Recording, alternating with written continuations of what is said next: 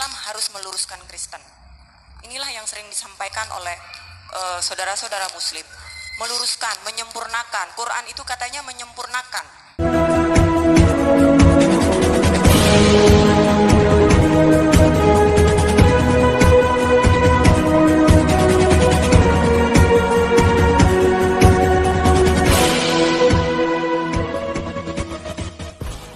Ya, shalom teman-teman semua di mana pun kita berada pada saat ini, kiranya kita semua tetap berada dalam keadaan sehat dan apa pun yang merupakan aktivitas kegiatan kita sepanjang hari ini, kiranya Tuhan Yesus memberkati. Dan kembali berjumpa lagi di channel kita ini yaitu Zema Yanescin. Dan terima kasih buat teman-teman yang telah mendukung channel ini dan kiranya kita tetap gunakan channel ini untuk kemuliaan Tuhan dan untuk menjadi berkat bagi semua orang. Terlebih-lebih supaya firman Tuhan didengar oleh banyak orang. Nah, teman-teman, eh, saya akan mengulas kembali eh, percakapan saudara-saudara kita yang Muslim dengan saudara kita yang Kristen, di mana ada percakapan dialog atau diskusi agama, di mana dari pihak saudara kita Muslim mengeluarkan satu pernyataan bahwa Al-Quran itu menyempurnakan Alkitab. Apakah benar teman-teman? Mari kita simak videonya yang berikut ini. Tadi Bapak Maksud ya berkata eh, Islam harus meluruskan Kristen. Inilah yang sering disampaikan oleh eh, saudara-saudara Muslim. Meluruskan, menyempurnakan. Quran itu katanya menyempurnakan. Berarti firman Tuhan itu tidak sempurna ya. Ketika Tuhan itu berfirman, berarti tidak sempurna. Bukankah Tuhan, bukankah perkataan Tuhan itu tetap untuk selama-lamanya? Perkataan Tuhan itu tidak berubah, ya. Yesus berkata di dalam kitab Matius 24 ayat 35, langit dan bumi akan berlalu tapi perkataanku tidak akan berlalu. Jadi perkataan Tuhan itu tetap untuk selama-lamanya. Jadi eh, apa namanya? Mana lebih dulu? Alkitab atau Al-Qur'an? Eh, saya saya tadi kaget melihat eh, Quran yang saya, saya saya pinjam dari pihak Islam ya, dibawa sama Islam ya Pak ya. Sama Quran yang saya baca di rumah yang saya peroleh dari saudara Muslim. Ada perubahan. Eh, misalnya kayak di Ali Imran ayat Ali Imran 45. Kalau yang di Quran di, di saya itu dikatakan Isa itu adalah diciptakan dan itu ada di dalam kurung. Bukan hanya ada dalam kurung tetapi juga ada eh, catatan kaki yang mengatakan bahwa penciptaan Isa itu sama dengan penciptaan Adam. Kenapa eh, ada keterangan dalam kurung? Padahal kalau saya lihat di dalam bahasa aslinya, dalam bahasa Arabnya, kata diciptakan itu tidak ada. Nah, kata diciptakan itulah yang membuat kaum muslim percaya bahwa Isa itu adalah diciptakan. Dan dalam iman Kristen, Isa itu tidak di- diciptakan. Dia adalah alfa dan omega, dialah yang awal dan yang akhir. Ya. Yesus berkata, barang siapa percaya kepadaku, ia akan memperoleh hidup yang kekal. Nah, itu dia pernyataan dari mereka dan ibu tadi sudah menjawab dan ibu ini dia merupakan latar belakang muslim. E, menurut kesaksiannya bahwa dia meninggalkan agamanya itu karena dia tidak mengerti isi kitab sucinya sendiri karena kebanyakan mereka disuruh untuk menghafal saja. Masalah arti itu nggak perlu kata ibu ini menurut kesaksiannya. Nah, teman-teman yang kita bahas saat ini yaitu apakah benar apakah benar Islam meluruskan Kristen atau Al-Quran menyempurnakan Alkitab. Nah, jadi teman-teman, ibu ini tadi sudah menjawab sebagian, hanya saja saya ini mengulas kembali untuk bisa kita mengerti, untuk kita bisa pahami ya. Nah, yang pertama kita dulu harus perhatikan duluan mana kehadiran apakah Alkitab atau Al-Quran. Nah, itu sudah jauh berbeda dan mana yang lebih kita percayai? Apakah tulisan saksi mata, tulisan yang hidup pada zaman itu, atau kita percaya kepada tulisan-tulisan yang hadir di beberapa ratus tahun kemudian? Nah, tidak mungkin kitab yang duluan sudah ada berapa tahun, tiba-tiba ada kitab yang baru mau meluruskan kitab yang sudah lama ada. Itu bagaimana mungkin? Contoh, teman-teman Bagaimana mungkin misalnya negara Malaysia mau meluruskan sejarahnya Indonesia? Misalnya Indonesia merdeka tahun 1945. Eh, tiba-tiba datang negara lain. Apalagi orang dari negara lain itu baru lahir kemarin. Dia mau meluruskan sejarah kemerdekaan. Dia mau menyempurnakan undang-undang dasar. Dia mau menyempurnakan Pancasila. Nyambung nggak teman-teman? Itu nggak nyambung. Kita lebih percaya pada sejarah-sejarah Indonesia yang ditulis oleh orang Indonesia itu sendiri dan yang hidup pada zaman kemerdekaan itu. Kita lebih percaya kepada mereka daripada kita percaya dengan negara lain yang menciptakan, yang menyusun sejarah Indonesia dengan ngawur. Apalagi orangnya baru lahir kemarin. Bagaimana mungkin? Nah, kita lebih percaya kepada para pahlawan yang menciptakan sejarah itu sendiri dan yang mengalami sejarah itu sendiri. Nah, nggak mungkin negara lain mau meluruskan cerita sejarah Indonesia. Demikian Alkitab ini. Nah, kitabnya Yahudi mana mungkin bisa diluruskan oleh kitab negara lain. Ini contoh kecilnya teman-teman ya, untuk bisa kita pahami. Tidak mungkin kitabnya orang Yahudi, kitabnya orang Israel, eh tiba-tiba datang kitab baru dari negara lain, dari bangsa Arab, mau meluruskan kitabnya bangsa Israel. Nggak nyambung. Sama halnya tadi seperti sejarah Indonesia, sejarah kemerdekaan Indonesia. Mana mungkin kita percaya kepada orang yang menyusun sejarah Indonesia di luar negara kita. Apalagi orang yang menyusun sejarah baru lahir kemarin, tidak pernah ada waktu zaman kemerdekaan itu.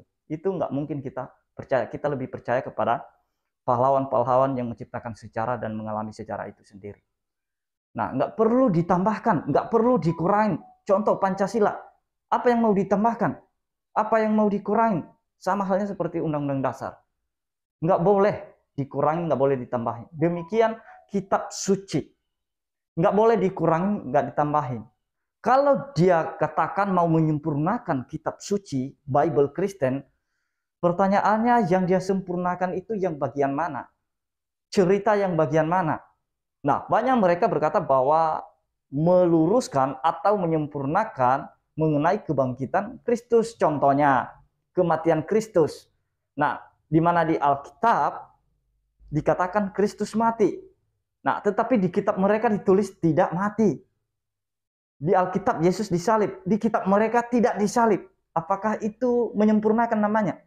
Padahal yang menulis secara kebangkitan dan kematian Kristus itu, penyaliban Kristus itu, itu orang-orang yang hidup pada abad pertama itu, hidup di zaman itu, melihat sejarah itu. Mereka langsung menulisnya. Kok tiba-tiba muncul kitab lain? Mengurangi, tidak mati, tidak disalib. Itu bukan menyempurnakan namanya. Nah, makanya kita harus perhatikan, perlu kita pahami baik-baik. Nah, sekalipun banyak klaim-klaim mereka seperti yang dikatakan ibu tadi ini ya, yang menjawab pertanyaan e, Masud, yang menanggapi Masud, di mana dia dulu tidak mengerti. Bahkan seperti di dalam kitab mereka bahwa Yesus itu atau Isa itu yang mereka anggap Yesus diciptakan.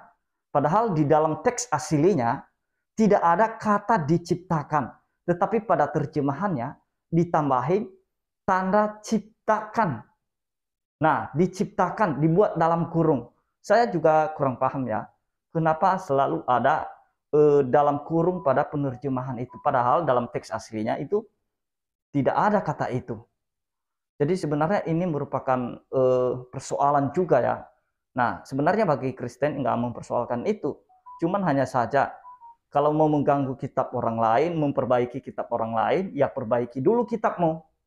Pahami dulu kitabmu Jangan mau memahami kitab orang lain, kritik kitab orang lain, tetapi kitabnya sendiri nggak bisa dipahami, nggak bisa diperbaiki.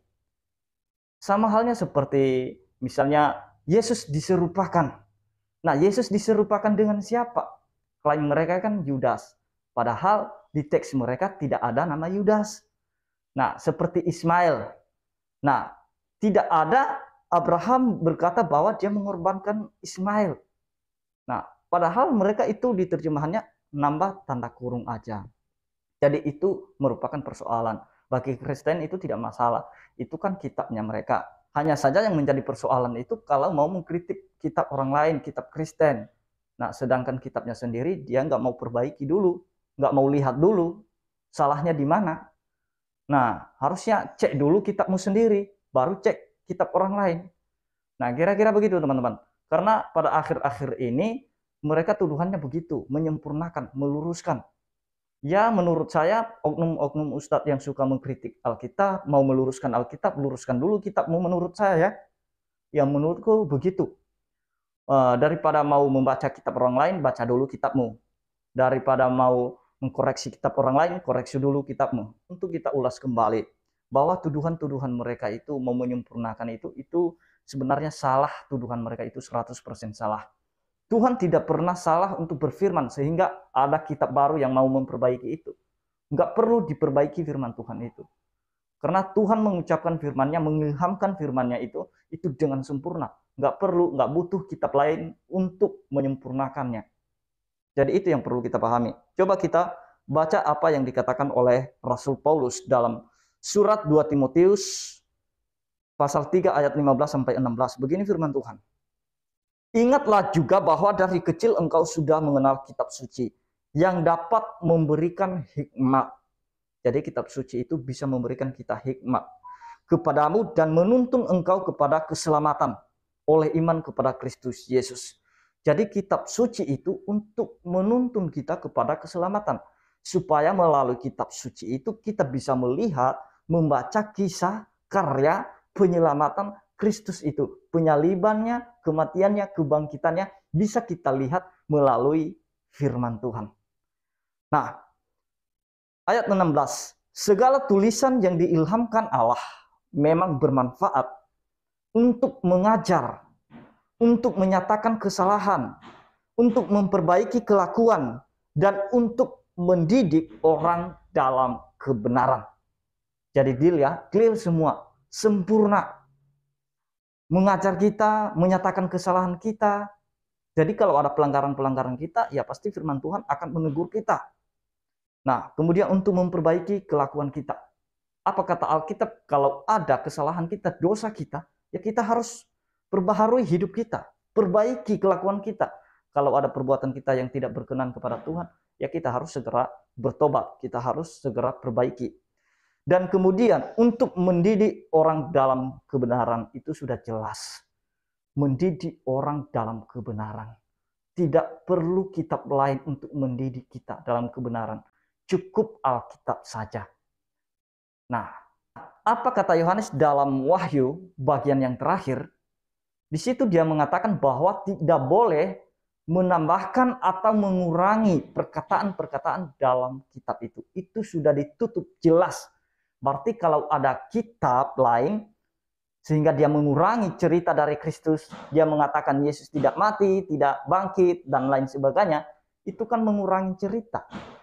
Nah, dan Yohanes dalam kitab Wahyu dia mengatakan barang siapa yang menambahkan dari perkataan ini, maka kepadanya akan ditambahkan malapetaka. Nah, jadi itu sudah jelas, sudah deal. Penutupnya adalah kitab Wahyu.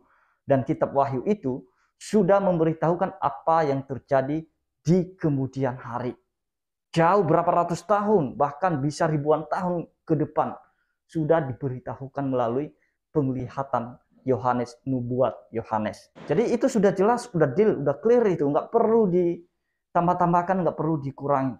Apalagi mau disempurnakan. Mau disempurnakan yang mananya, bagian mana yang mau disempurnakan di situ. Sudah deal semua, sudah jelas. Nah, kok tiba-tiba ada kitab baru yang berapa ratus tahun kemudian mau meluruskan kitab yang sudah lama ada, sudah jelas penulisnya, sudah jelas saksi matanya, Aduh.